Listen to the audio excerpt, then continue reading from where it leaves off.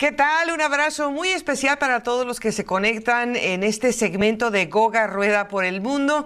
Estamos cada vez que nos acercamos a las dos ruedas, sin importar si es bicicross, si es de ruta y en especial si es de pista, estamos más que contentos. Usted sabe que este es el deporte que es mi debilidad y del cual pues la verdad también tengo un enamoramiento ya hace muchos años, pero también quiero darle la bienvenida a las nuevas generaciones y queremos que este espacio la gente pueda disfrutar de la nueva presencia de corredores como Kevin Santiago Quintero, quien nos hace el honor de estar con nosotros. Y antes que otra cosa, pues un saludo también muy especial hasta tu nueva base ya hace algunos años, Kevin, allá en Medellín. ¿Cómo estás? Hola Goga, ¿cómo te va? Un saludo a todos. Feliz, feliz de que hablemos un rato de ciclismo. Pues la, pista ha sido una disciplina que se ha ganado ya también mucho el corazón y el respeto de los aficionados, Kevin, pero quisiera preguntarte si cuando tú eras pequeño y, y, pues te regalaban tus bicicletas, porque era un deporte del cual te prendiste temprano, ¿pensabas en algún momento a esa edad con tu bici en el velódromo o al velódromo eh, lo tenías como muy lejos y no lo conocías realmente el concepto de pista? Sí, sí lo tenía lejos y fue porque una vez solo nos llevaron a montar, pero creía que, o sea, solo era para técnica, solo era para mejorar eh, la agilidad en la bicicleta, nunca pensé que me iba a enamorar así. Bueno, Kevin, cuando pues uno es pequeño, eh, la bicicleta significa un momento de libertad, de gozo. ¿Qué, era para ti también estar en la bicicleta junto a otros niños eh, compartiendo estas experiencias? Como tú acabas de decir, era gozo. Siempre me disfruté, incluso ahora teniendo algunas responsabilidades sobre la bici, me la disfruto. Trato de siempre disfrutarla y más cuando era pequeño, cuando solo lo hacía por, por pasar el rato. Eh, en, tu ciudad natal, en Palmira, eh, Valle del Cauca, cuando eras pequeño, eh, ¿sentías que había pues como, como la moda, como que muchos chicos estaban tratando de meterse al ciclismo para desarrollarse, digamos, primero en ruta, como te tocó a ti? Sí, éramos un grupo grande, muy grande, de veintipico de ciclistas en una ciudad tan pequeña, porque Palmira es pequeña. Entonces, era chévere. Ahorita el único que monto soy yo. Entonces ahí está un poquito como que todavía hablo con ellos y hey, que qué chévere que seguir montando y el arrepentimiento porque ah, yo hubiera podido seguir, estaríamos muy parejos, pero bueno,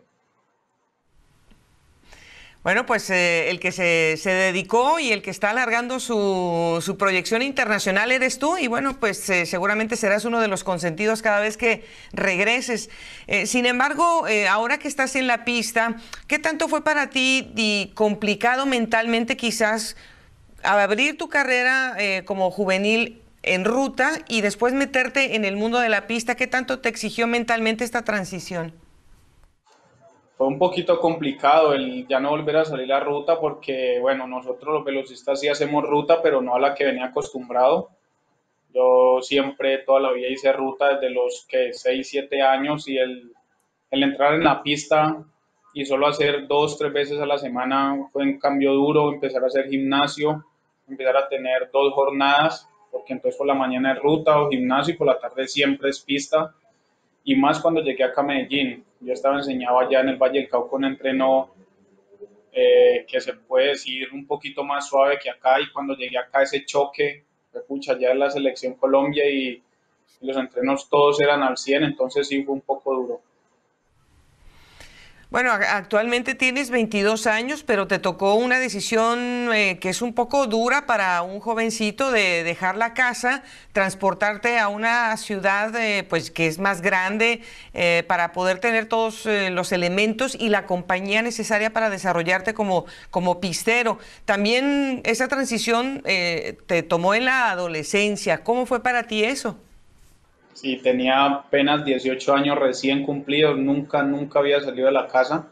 Gracias a Dios y por fortuna que había una tía que es muy cercana a nosotros, ella iba mucho a Palmira y bueno, yo le comenté qué estaba pasando y me dijo, véngase. Entonces esa compañía no la sentí como tan dura.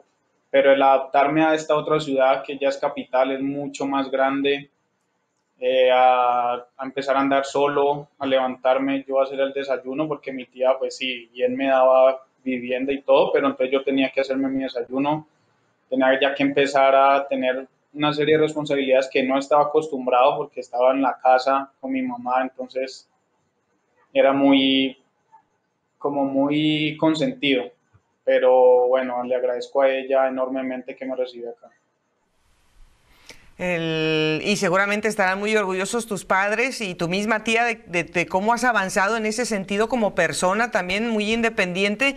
Pero cuando eh, se viene esta oportunidad de, irte a, Medellín, ¿quién fue eh, ese contacto o las personas que promovieron tu decisión?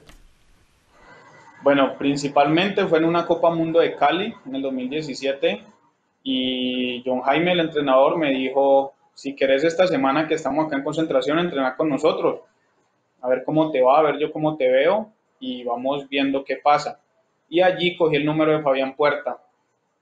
Y bueno, esa semana entrené con ellos, durísimo porque estaban ya todos a punto para correr, entonces bueno, me abrieron mucho hueco, pero el, quedé con el número y como a los meses, dos, tres meses, él me escribió. Me dijo, vos tenés donde quedarte acá, que vamos a preparar otra carrera buena. Si querés venir y la preparas, a ver qué pasa. Pero principalmente fue él el que me dijo, arranque, arranque a ver qué pasa.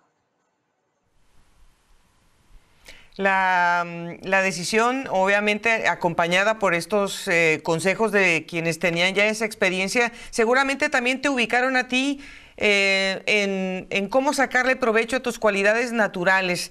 Eh, ¿Fue ahí de inmediato que todas las pruebas de, velocidad casaron contigo inmediatamente por tu físico? Sí, fue algo que ya traía una base del Valle del Cauca, pero cuando llegué acá, con la experiencia de John Jaime me empezó a encarrilar muchísimo más en la velocidad, en el gimnasio me empezó a subir el peso. Me dijo, bueno, ya no hay que consentir, consentirte tanto, ya tener 18, ya empecé a levantar cosas de hombres, así me dijo, las relaciones, los entrenos, entonces sí, todo compaginó y fui escalando en el proceso. Bueno, las eh, participaciones que has tenido han sido variadas, eh, básicamente en todas las pruebas de velocidad, tanto en individuales como en equipo, en la prueba de, kilómetro y por supuesto el catering. De estas cuatro facetas en las que te estás desarrollando, ¿en dónde te sientes más pleno? Bueno, creería que en todas, todas me gustan, todas las disfruto, pero por si tendría que escoger catering y kilómetro es en las que mejor me va, en las que mejor me siento y en las que ahora en el, en el fue en el que abrí el cupo olímpico. Precisamente, eh, no todo el mundo conoce tanto esta disciplina. Eh, ¿cómo, ¿cómo, fue para ti encontrarte con la dinámica de, de, la competencia, que es totalmente diferente a las otras?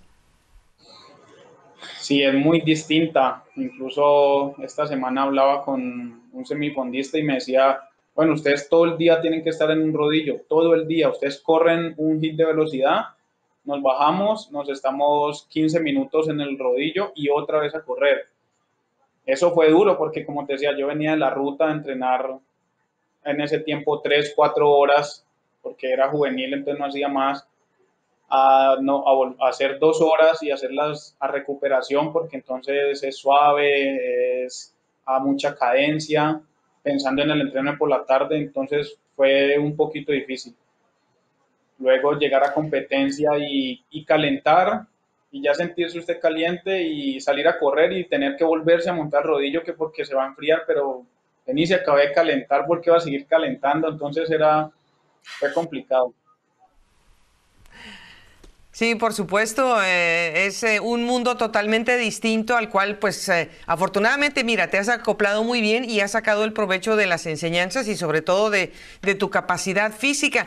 Pero si, si, me permites, vamos a hacer un viaje al día de ayer, básicamente, porque eres muy joven y esto apenas pasó hace cuatro años.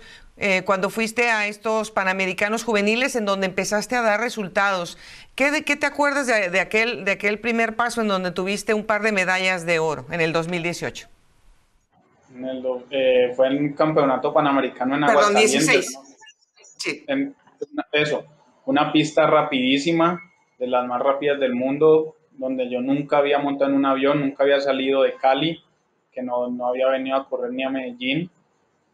Y fuimos a un campeonato nacional en Pereira cuando a los días nominados para la selección Colombia Juvenil y Kevin Quintero, pucha, el sueño, se, se empezaron a hacer realidad, o sea, yo sin saber mucho de la velocidad porque no lo sabía, apenas esa fue la primera vez que corrí un kilómetro, la primera vez que corrí un Keirin y me metieron a la, a la selección, entonces era como que el sueño se está haciendo realidad. Cuando llegamos allá, un mundo totalmente distinto porque entonces llegamos y habían ventas afuera, la gente quería fotos, uy, los de Colombia, yo sin saber, y ya tenían esa fama, teníamos, y llegar a, ese, a esos momentos, a ese, a ese espacio como tan importante, fue bonito. Cuando me dijeron, bueno, acá vamos a correr esto, esto, y solo me metieron a la velocidad y, y al kilómetro.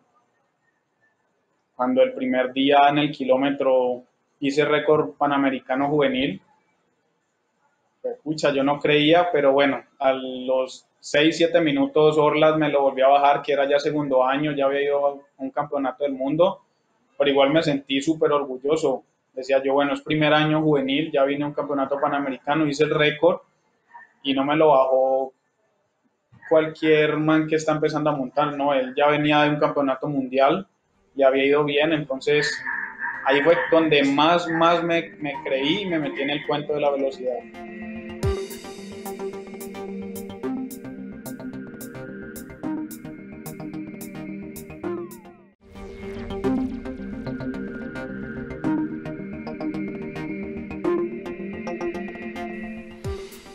Pues Kevin, empiezas ahí también a, cosechar eh, la perspectiva rumbo a la categoría élite, empiezan también las competencias de los Juegos Suramericanos, de los Juegos Centroamericanos y por supuesto todo viene a, a tener un gran resultado con la medalla de oro en los, eh, en los Juegos Panamericanos de Lima. ¿Cómo ha sido para ti eh, este paso rápido pero muy sólido? En, tres años has podido cosechar ya un campeonato eh, para, para, Colombia de, una, de unos Juegos Panamericanos. Para ti estos tres años, ¿cómo han sido intensamente asimilados en, en, tu, en tu cuerpo y en tu mente? Bueno, han sido unos tres años difíciles, han sido duros, no te puedo decir que, que ha sido todo como se pintan las carreras. Ha sido de mucho entreno, de mucho sacrificio, el estar acá en otra ciudad donde todo es muy diferente, pero principalmente en Juegos Panamericanos yo solo iba como, sí, a correr el Keirin, a correr la velocidad, pero yo no era el elegido, estaba Santiago Ramírez, estaba Rubén Murillo, que eran los, como los principales en esa selección para esos juegos y en una concentración en Estados Unidos que hicimos un mes y medio antes, eh, me fue súper bien. Allá gané un Keirin, el kilómetro lo hice bien, la velocidad la corrí bien y ahí fue donde John Jaime me dijo, bueno, este man me lo está haciendo bien, entonces metámoslo eh, al Keirin y esperemos qué pasa. Entonces yo estaba como con esa incertidumbre de que, pues, pucha, sí lo voy a hacer bien, bueno, yo me siento bien, lo estaba haciendo bien, pero ya Juegos Panamericanos es cada cuatro años y nos había hablado psicólogos, los metodólogos, todos, que, que es lo más importante para Colombia, eh, para el Comité Olímpico, eso es súper, súper importante. Y sentía yo como esa responsabilidad, ese temor también, porque no te puedo negar que lo llegué a sentir y cuando llegamos allá, un clima completamente distinto al de acá, estaba haciendo un frío horrible, no había calefacción en la pista, nos tocaba calentar en el rodillo, al lado poner una, una cosa ahí que soltaba candela para más o menos empezar a calentar. Y bueno, empecé a hacer el catering, la primera ronda entré bien.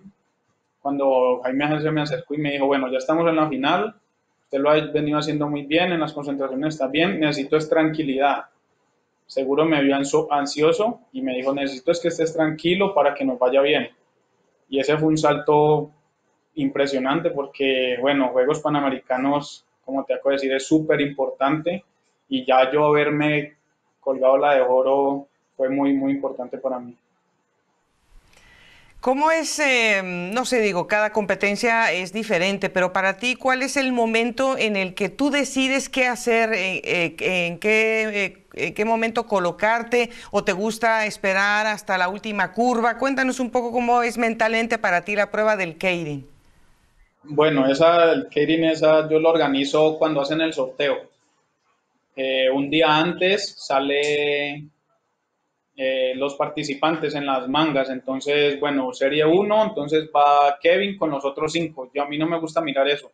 Yo lo miro al otro día y no calentando, sino ya cuando estamos en la pista que ya nos tocó el sorteo y ahí es donde cuadro, ahí es donde le, ya Jaime sabe que no me gusta mirar y ahí es donde le digo, bueno, ya vi quiénes estamos, eh, ¿qué vamos a hacer? Le pregunto, entonces él está bien y entonces ya le digo yo, bueno, sí está bien, este man va duro de tres vueltas, entonces no lo podemos dejar que coja la punta todas las tres vueltas. O sea, ya organizo la estrategia estando en la línea. Antes no, antes estoy calentando como si fuera a correr con cualquier persona. Pues es una, es una manera eh, muy práctica eh, de, enfrentar el reto para precisamente evitar, me imagino, pues algún, alguna medida que tengas porque ya hayas conocido a estos atletas. Con todas las participaciones que te han tocado también en las Copas del Mundo, ¿qué atletas, eh, digamos, dentro de tus especialidades, digamos, te sientes muy similar y sabes que son a quienes podrías estar vigilando, a, a quien le has puesto los ojos también como un rival al cual tú le tienes un cierto respeto, digamos? Bueno, creería que todos, a todas las competencias, por ejemplo, sea Copa Mundo, sea Campeonato del Mundo, creo que todos llegamos en una muy, muy buena forma deportiva, es lo más importante del año, es lo que nos abre cupos y nos da puntos a lo que queremos lograr, que era Juegos Olímpicos. Entonces, llego con cierto recelo hacia todos. Ya cuando estoy en la, en la pista que veo los otros cinco participantes, ya si un holandés, tengo mucho más cuidado que, que, si no lo, que si no fuera ahí. Y los australianos. Hay un australiano que corre muy bien el Keirin, los holandeses también están muy fuertes pero creo que siempre contra el que vaya siento cierto recelo antes de salir y, no, no voy ni confiado ni voy eh, inseguro. Siempre voy como a lo mismo. Pues ya que nos habías comentado que, que digamos que la tendencia tuya es eh, ser un poco más destacado tanto en el Keirin como en la prueba del kilómetro. ¿Esta tiene el mismo tratamiento para ti? Eh, ¿Cómo haces tu rutina también para concentrarte eh, y pues ser más efectivo cada vez que sales a la competencia? Sí, pues son calentamientos muy parecidos, no te lo puedo negar. Son el Keirin ahora, ahora es de tres vueltas, entonces es una prueba larga kilómetro, como tú sabes, son cuatro, entonces es muy, muy parecido. En las dos hay que ir a bloque. Entonces, mm, trato de organizarme muy bien en unos arranques que hacemos antes, los hacemos afuera de la pista, dependiendo del país y en qué época también, porque los últimos dos mundiales han sido en febrero, donde está todavía nevando, entonces no los podemos hacer ahí se nos complica un poquito, pero trato de ahí en esos arranques visualizarme para lo que voy a hacer. En pensar en el catering, bueno, son tres vueltas, con el que me toque me va a tocar o tres vueltas o, esperar a la última si es que van muy duro, pero me, me, programo es para tres vueltas y para el kilómetro, bueno, con mayor razón que de salida hay que ir súper duro.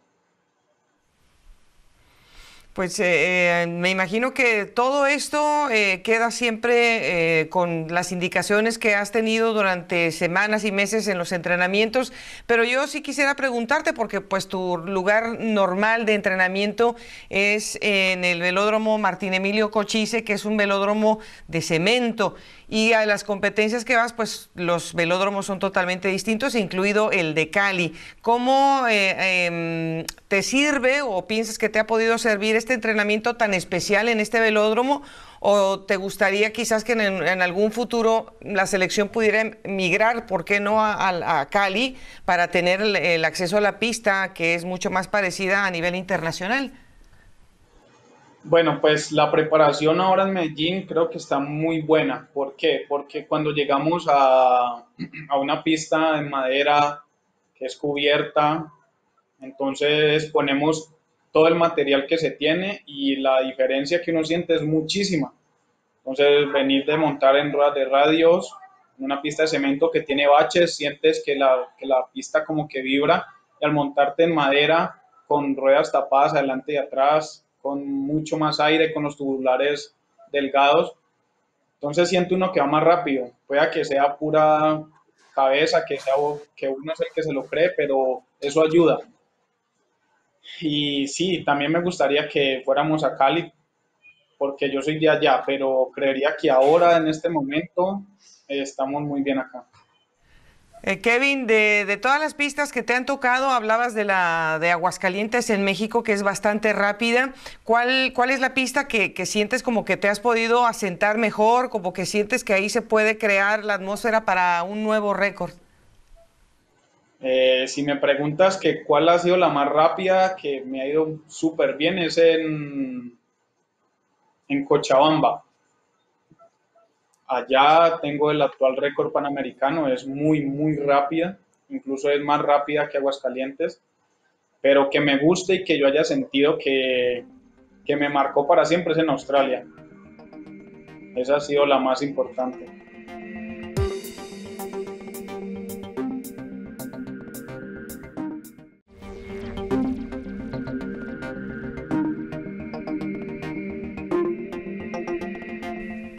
Ya hemos comentado un poco acerca de, tus pruebas individuales, claro, también está la velocidad, pero cuando has tenido eh, también esa oportunidad de, hacer la velocidad por equipos, eh, ¿qué significa para ti también compartir eh, la experiencia y, la responsabilidad de un buen resultado cuando te, te toca esta disciplina? Es una prueba que me gusta mucho. Me gusta mucho hacer la segunda vuelta me gusta más cuando arranca Rubén Murillo, porque es un, es un deportista que arranca demasiado duro, entonces me exige a mí de salida a ir muy duro y cuando me toca a mí la, la vuelta, sé que tengo que ir más duro para dejar el tercero impulsado. Es algo que es una prueba que me gusta. Cuando la preparamos, eh, que nos juntamos ya pues a prepararla que dos, tres semanas antes de un campeonato, que hacemos ya el equipo completo, todo lo empezamos a hacer muy unidos, me gusta se siente, siento como más adrenalina al momento de ir a rueda y que se me quite y ya sabes que en la pista ahora se puede uno meter la bicicleta por abajo con tal de que no le pase el tenedor a la otra, se puede entonces ir tan rápido y hacer esa maniobra, me gusta, es chévere y bueno, en, en, en las últimas ocasiones nos ha ido bien en el equipo, entonces es muy bueno prepararlo. Pues eh, tienes la, representación eh, de la selección para los Juegos Olímpicos eh, en la prueba de Keirin, pero no sé si en el mediano plazo y en el siguiente ciclo olímpico, em, con, más trabajo, quizás con la llegada de algún otro nuevo integrante a la selección, ¿crees que se puedan conseguir más boletos em, para, que Colombia no asista solamente a una disciplina? Sí, ahora solo como tú dices, abrimos cupo en el Keirin y por abrir cupo en el Keirin, entonces también podemos correr a velocidad individual. Pero el sueño era abrir por el equipo, abriendo solamente la, plaza de equipo, podíamos correr dos, dos corredores, Keirin y velocidad, solo por abrir el equipo. Por eso muchos países se preocuparon solo por abrir el cupo en el equipo porque sabían que tenían fijo velocidad y Keirin y dos personas. Entonces, con un poquito más de trabajo sí, sí se puede lograr. Hubo una falla en el Campeonato Panamericano en 2019 que se dañaron dos ruedas y por eso ni siquiera obtuvimos puntos. No sabemos si con esos puntos hubiéramos podido ir, pero al menos se hubiera intentado. Ya después de eso ya no volvieron a sacar el equipo a correr porque, bueno, eran unos puntos súper importantes. El, quedar acá medallista en América da muchos puntos para ir a campeonatos del mundo y para sumar a la Olimpiada. Y con esa falla mecánica no obtuvimos ni uno. Entonces yo creo que con más trabajo y yendo un poquito más duro, sí podemos entrar al equipo. Bueno, pues también los entrenamientos te dan la oportunidad de convivir con las, eh, con las damas, con la selección nacional eh, de, damas. Eh, ¿Cómo es ese ambiente? pues la verdad que la velocidad también está formando parte del núcleo de, la representación colombiana en mujeres. Sí, ahora acá solo está Marta y Juliana, que son las que viven acá, pero por ahí me he dado cuenta que vienen niñas muy buenas Viene una niña de Barranquilla que ojalá pronto pudiera venir a entrenar acá con nosotros, que estoy seguro que al entrenar con Jaime, entrenar en este ambiente de acá, el hacer la ruta, el gimnasio con nosotros, eso siempre nos motiva, siempre nos lleva a dar más de lo que tenemos, entonces sería muy bueno. El ambiente todos nos la llevamos bien, pero cada uno en su entrenamiento como que ya se enfoca en lo que le, le toca hacer siempre llegamos, nos saludamos, pero el momento de ir a la pista, entonces si es en equipo, entonces estamos Santiago, Rubén y yo, o si es individual, cada uno anda por su lado. Se toma su recuperación, eh, cuando ya es tiempo va y sube a hacer su trabajo, eso ya es, en, en temas de entrenamiento ya somos muy, como muy concentrados cada uno en su cuento. La presencia, como has mencionado en varias ocasiones, de John Jaime, eh, me imagino que para ustedes es, fundamental por, esa voz de experiencia que tiene, eh, por, la forma en que también es disciplinado y a ustedes los, mete en, en, competencia rápidamente. ¿Qué significa esa figura de John Jaime para ti hasta ahora en tu carrera deportiva? Bueno, creo que ha sido lo más importante que me ha pasado encontrarme con él él es el que me ha llevado a los momentos más importantes que he tenido en la carrera. Se lo agradezco cada que puedo y como lo dices, es esa voz de mando a la que siempre estoy pendiente. Yo salgo un Kading a lo que salga y yo escucho solamente el silbido de él. Tú me dices, bueno, ¿usted qué piensa? Bueno, yo no voy pensando nada, solo voy atento a ver cuándo él me va a silbar y sé que cuando él me silba tengo que apretar sin importar cuánto falte, en dónde esté, si esté atrás, adelante, arriba, abajo, no. Ya sé que si él silba tengo que empezar a apretar. Entonces se ha vuelto como ese papá acá en Medellín porque en alguna vez un consejo que he necesitado le he pedido para en los entrenamientos, en carrera, él ya me conoce, entonces me ha dicho, estate tranquilo. Entonces juega un papel muy importante. Pues eh, ya se está acercando la, fecha. Em, Kevin, quisiera que nos eh, dijeras más o menos cómo es tu camino previo a los Juegos Olímpicos, qué es lo que quieres cumplir antes de poder hacer ese viaje definitivo a Tokio. Bueno, que quisiera correr.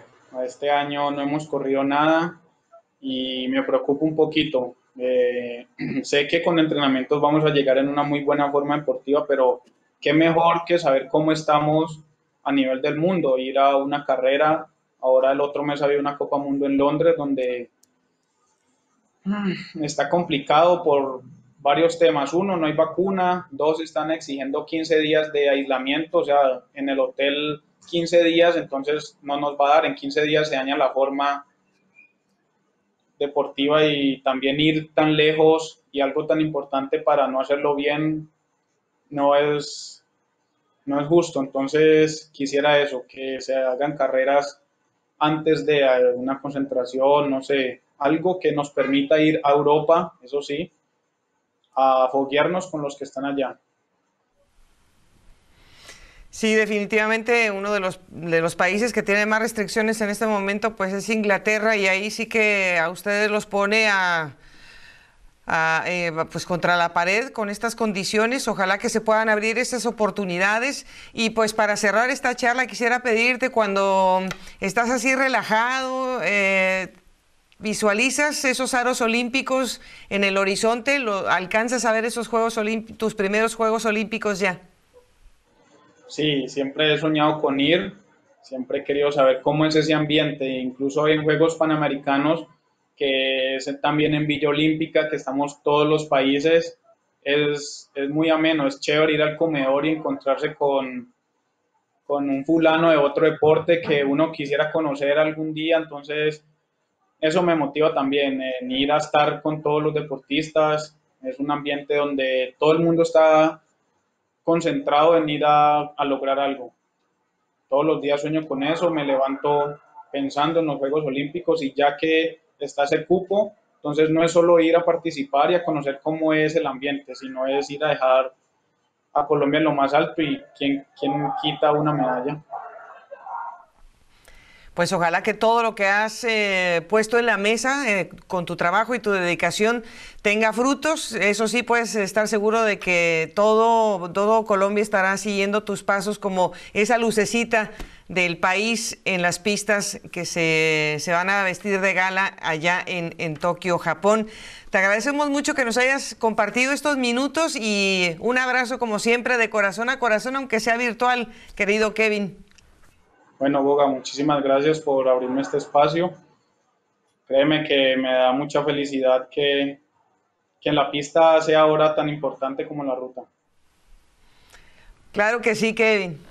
Claro que sí, muchísimas gracias a ti y a ustedes también que nos acompañaron con esta charla. Recuerden que la pista siempre nos va a hacer vibrar, es, una emoción, es un tornado de emociones la pista y ojalá podamos tener más representación colombiana en el corto plazo. Nos vemos muy pronto aquí con Goga Rueda por el Mundo en Señal Colombia.